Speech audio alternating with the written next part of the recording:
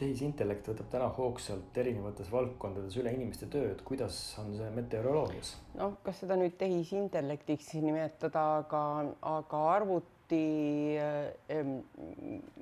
arvutused äh, järk-järgult võtavad selle üle küll ja just äh,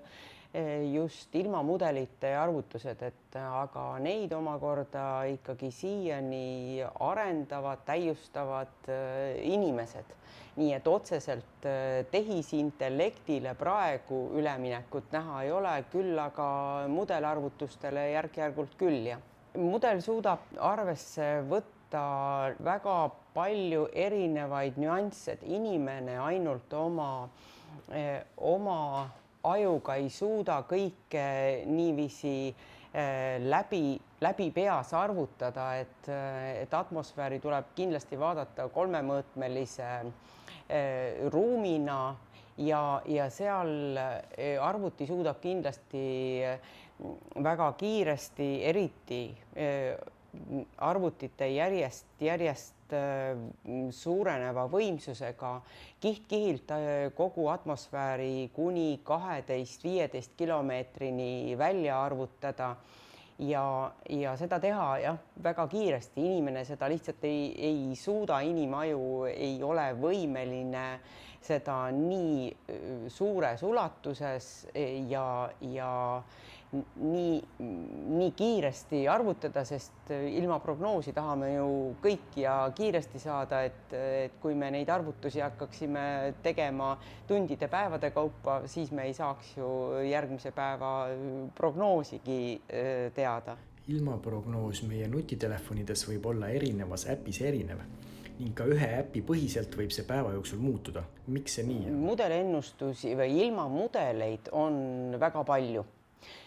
kogu maakera ulatuses ilma arvutavaid äh, mudeleid on niisuguseid juhtivaid ilmakeskusi või juhtivaid ilmamudeleid on juba kindlasti oma kümme, kümme, kaksteist äh, ilmamudelit ja kõik nad äh, arvutavad Äh, arvutavad ilma, aga võtavad arvesse ehk võib-olla natukene erinevaid nüansse ja nii võivad nad oma tulemuses jõuda väga erinevate, erinevate tulemusteni ehk kui lihtsalt öelda erineva ilmani ja harilikult toimuvad need ümberarvutused veel neli korda ööpäevas, nii et äh, mitte, mitte ainult äh, järgmisel päeval ilma vaadates äh, ei ole see erinev, vaid tegelikult hommikul või lõunal või õhtul vaadates võib see olla täiesti muutunud ja mida kaugemale, seda, seda suuremad võivad olla muutused. Ehk et et, et mida pikema aja peale on see ennustus, seda suuremad võivad need olla, need muutused kasvõi sellesama kuue tunni jooksul. ja tingitud on nad kindlasti sellest, et kusagil võib-olla atmosfääris kusagil kõrgemates kihtides toimub mingisugune muudatus ja, ja ilmamudelid võtavad selle muudatuse arvesse ja, ja sealt edasi võib see lehvikuna kogu see prognoostee hoopiski muutuda ja ja veel enam võib see muutus tuleneda näiteks ka aluspinnast, sest äh, seal on mere ja maa erinevused, seal on äh, mäestikud, kõrged mäestikud, kui arvestada globaalselt seda, et, et seal on niivõrd palju muutujaid,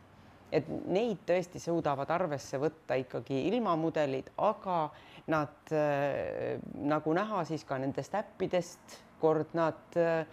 kord nad lähevad õiget teed pidi, siis nad võt, valivad äh, teise suuna, et, et seda saab kindlasti igaüks oma, oma sealt äpist vaadata ja kindlasti tuleb seda öelda, et nendes äppides ongi puhtalt see just selle ilmamudeli arvutus, et harilikult nendesse äppidesse ei ole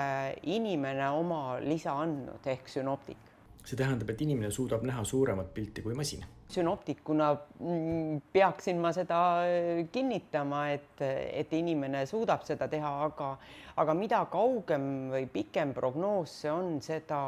seda vähem suudab inimene sellesse oma panust anda, et see on pigem niisuguste lähipäeva, lähitundide, lähipäeva, võib-olla paari-kolme järgneva päeva jooksul äh, prognoosi suudab inimene oma lisa veel anda või ehk ka nii, et kui sünoptikul on ees mitme ilmamudeli arvutused, siis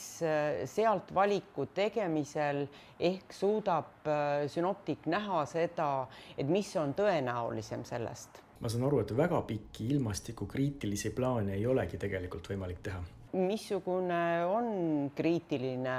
kriitiline ilmastikunähtus, see oleneb sellest, mida inimene teha tahab näiteks. et eh, kui ta soovib minna väga väikese alusega mere peale, siis pigem kakskümmend neli tundi ette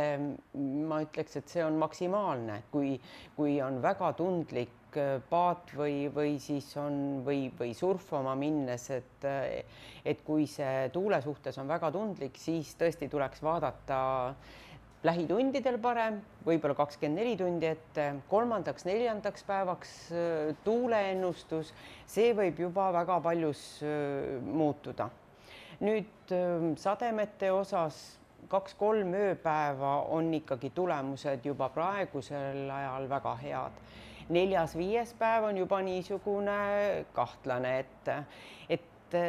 tegelikkus on selle taga peituv tegelikkus on see, et, et võib-olla ei olegi see arvutus või see prognoos ei olegi vale, aga ta on lihtsalt kas ajalises nihkes või siis veidi,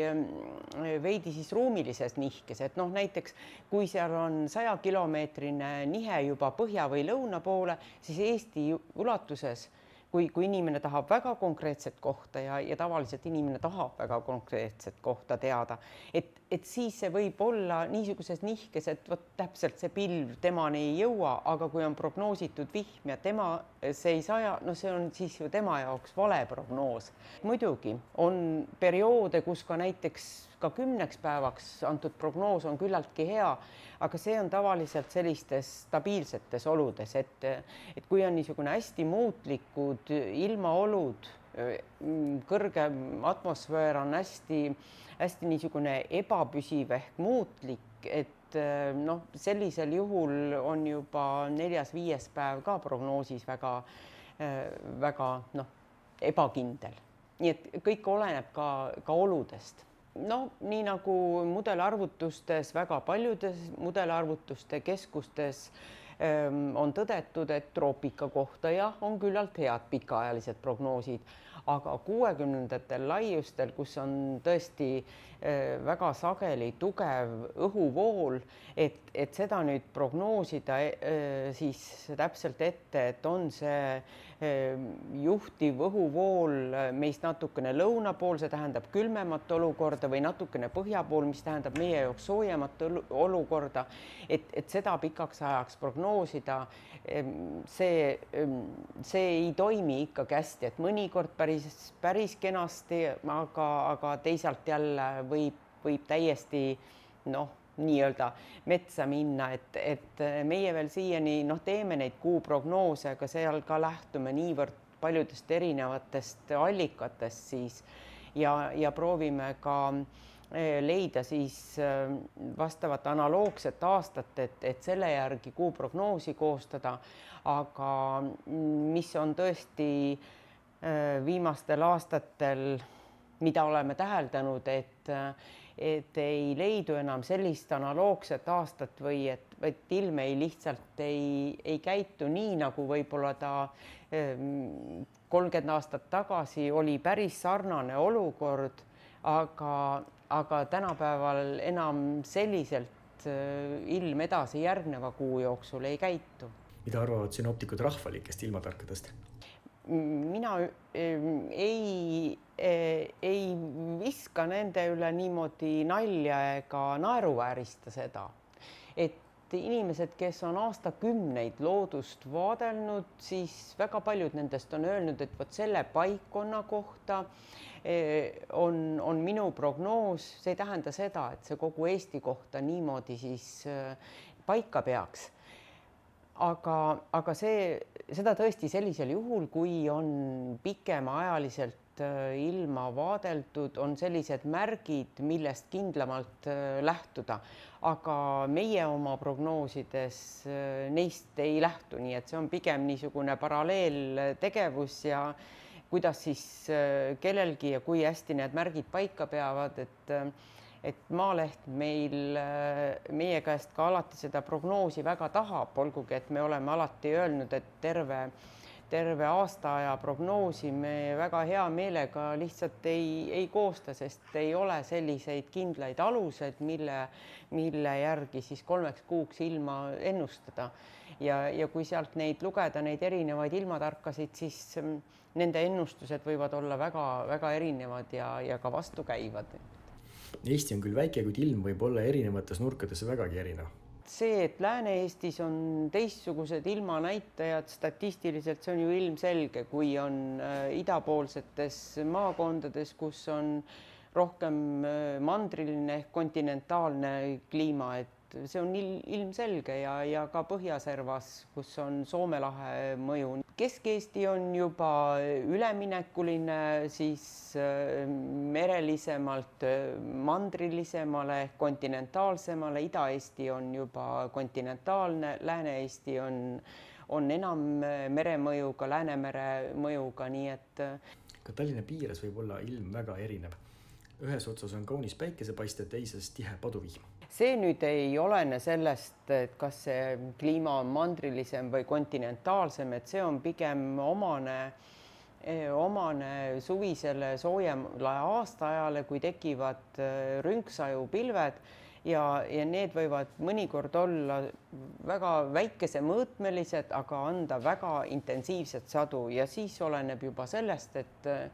et kuhu täpselt see pilveserv ulatub ja kuhu ei ulatu. viimane niisugune noh, näide, mis meenub kahe tuhande kuueteistkümnendast aastast, kus lennujaamas mõõdeti kuuskümmend millimeetrit seal paari tunni jooksul, samal ajal Harku ilmajaamas kolm eh, millimeetrit. et linnulennult ei ole ju Harku ja, ja siis Tallinna lennujaama vahe väga suur, aga aga mõnikord ei ole vaja isegi nii pikka vahemaad, et, et on pilveserv nagu noaga lõigatult, et see on väga sage nähtus tegelikult. et, et seda võib äh, igas Eesti servas ette tulla, et, et, et on ka, ka Kesk- ja Ida-Eestis, et,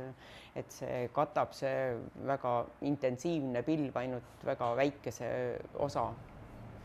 sellest piirkonnast. kas on viimase viiekümne aasta jooksul märgata Eestis mingeid selgelt eristatavaid ilmamuutusi?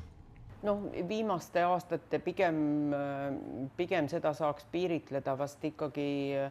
üheksakümnendatest, üheksakümnendatest aastatest, kui olid juba väga soojad, soojad talved, mis ilmselgelt nagu noh, selle vahe siis nüüd sügise, kevade ja siis selle talve vahel muutis nagu Äh, märksa väiksemaks. Aga oli ka seitsmekümnendatel selliseid sooje perioode, samas on ka täheldatud kolmekümnendatel aastatel väga sooje talvesid ja samas on teada kõigile, et ka need kõige madalamad temperatuurid, rekordid on Eestis mõõdetud ju neljakümnendatel alguses, et ähm, et on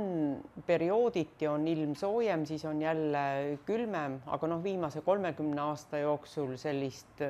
sellist perioodi, kus mitu talve järjest oleks olnud hästi külmad, et no neid, neid tõesti ei ole nüüd olnud, on üksikud talved ainult olnud ja soojad suved siin nüüd eelmisel aastal oli soe, sellel aastal ka küllaltki soe, kaks järjestikust, aga enne seda olid jälle niisugused vihmased ja, ja juba eelmise aasta kevadel hakkasid inimesed nurisema, et kas meil jälle tuleb üks selline sügiselaadne suvi, et, et noh, nii on, et, et on ilm väga palju muutunud, võib-olla sellist stabiilset külma, külmade ilmadega talvesid on on tõesti vähe olnud, see on vast kõige sellisem noh, läbivam see niisugune muutus, mis on toimunud, siis on statistiliselt täheldatud seda, et näiteks varem märts oli juba selline kevadekuu, nüüd on märtsikuud eelnevatest noh, nii kolmekümne aasta perioodi jälgides on märtsikuud muutunud jahedamaks pigem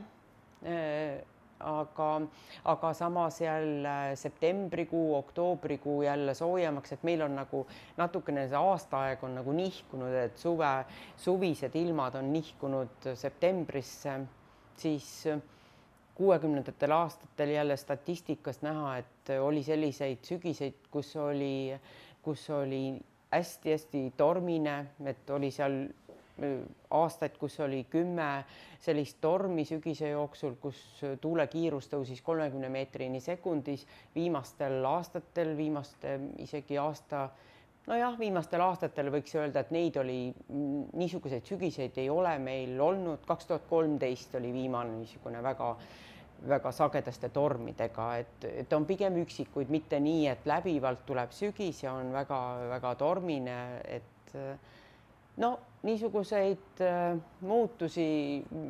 võib muidugi jah äh, täheldada, aga kas see on püsiv, et võib-olla see on, see on üks niisugune kõver, kus on siis toimunud selline, on soojem periood ja, ja võib-olla mõnede aastate või aastakümnete pärast jälle, jälle seegi muutub, nii et kas on õigus neil, kes väidavad, et toimub kliima soojenemine või neil, kes ütlevad, et mastaapsete järelduste tegemiseks pole piisavalt andmeid? see ongi diskussiooni küsimus, et see võib olla, see võib olla nii ja naa, kindlasti suudab loodus ise oma protsessides küllalt palju ka, ka muutusi teha, no näiteks ka need vulkaanipursked, et need on ka ajaloost teada, et väga suured võimsad vulkaanipursked on, on ilma ähm, järgnevate aastate jooksul väga tugevalt äh, muutnud. et, ähm, et ega see ennustus pikemaks ajaks, see võib olla nii ja naa, aga, aga noh, mis on nüüd praeguste viimaste aasta, aastakümnete niisugune tendents olnud, et statistiliselt äh, see temperatuuri äh, kõver on, on tõusnud, see on tõsi, aga aga mina pigem jah, rõhutaksin seda, et et inimene peaks oma tegevuses lähtuma ka sellepärast loodushoidvalt, et, et meil jätkuks veel aastasadadeks puhast vett ja puhast õhku, sest kui seda ei ole, siis on täiesti ükskõik, kas meil, kas meil on see vesi tõusnud või langenud, kui see ei ole enam inimväärne, see elukeskkond, siis siis see ei oma ju enam tähtsust, et kui kõrgel on veetase ja kui, kui soe on see meie ilmastik siin, et